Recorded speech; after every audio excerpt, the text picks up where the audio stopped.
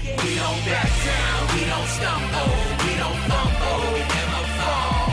We go harder, you can't guard us when our backs up against the wall.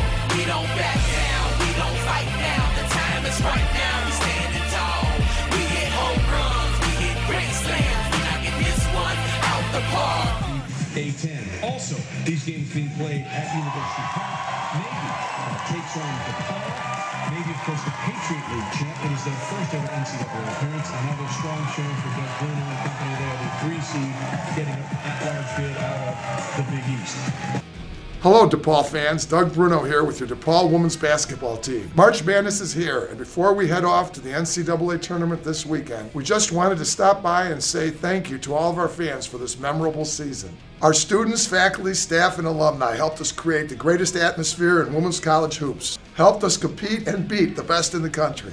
McGrath Phillips Arena has never been louder or more rocking than this season. We were undefeated at home this season with three wins over top 10 ranked opponents Stanford, West Virginia, and Notre Dame. We couldn't have done it without you this year, and remember, it's not over yet.